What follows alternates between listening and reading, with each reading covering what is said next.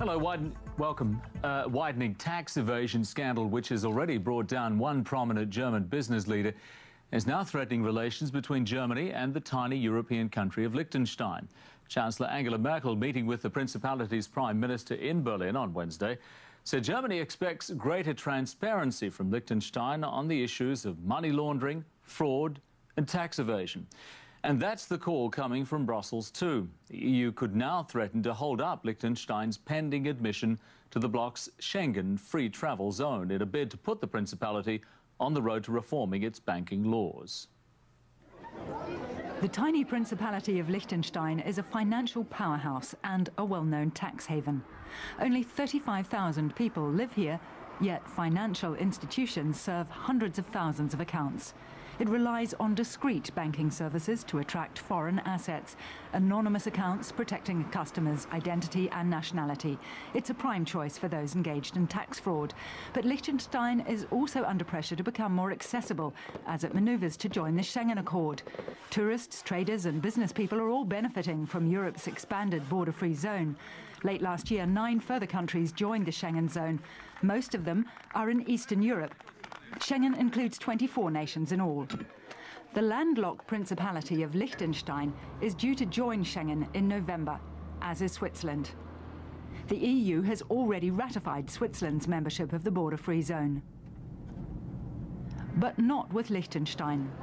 Switzerland and Liechtenstein have extremely close ties, including a joint currency and customs regime.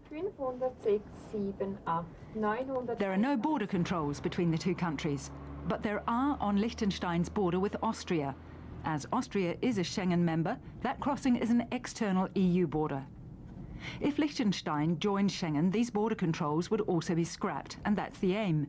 But if Switzerland joins Schengen and Liechtenstein doesn't, Switzerland would also have to introduce controls on the two countries' joint border.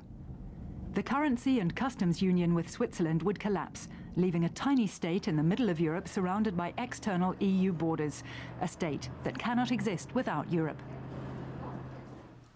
And earlier we spoke with our correspondent in Brussels, Jeff Mead, and we asked him whether he thought the EU could use the prospect of exclusion from the Schengen Agreement to gain more leverage over Liechtenstein on transparency issues. It can try, but of course, um, being considered a tax haven is a big advantage for a, a, country, particularly a small country, and it's big business for a place like Liechtenstein. So, yes, of course, uh, Liechtenstein does want access to the Schengen area to open up its borders, but at the same time, it also wants the big financial flows coming into the country thanks to its status as a very advantageous place to lodge big sums of money. So, I, I think it will be a tricky one, and I think if Liechtenstein had to choose between the one or the other, it would want to continue to be a tax haven. Now, does the EU, EU have a, a, common stance on this issue, or, or is Germany alone on this?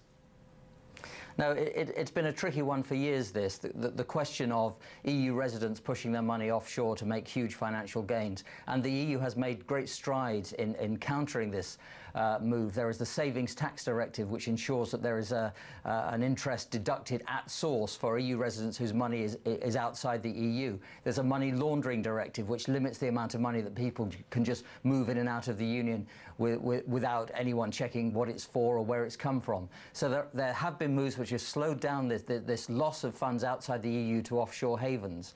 Um, so efforts have been made, they have been partly successful.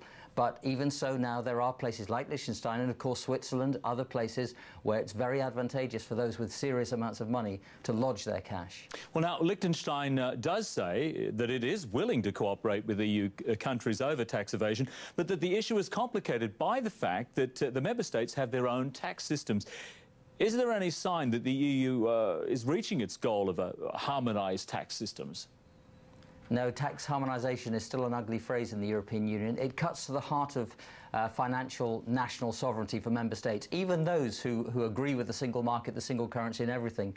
Tax is very much a national fiefdom, and uh, that's the difficult third part of this tax savings, uh, money laundering, and then tax harmonisation, this trio of initiatives which, which could actually curb the move of money out to tax havens. There's no sign that tax harmonisation totally is anywhere close in the European Union. Jeff, thanks very much. Jeff Mead in Brussels.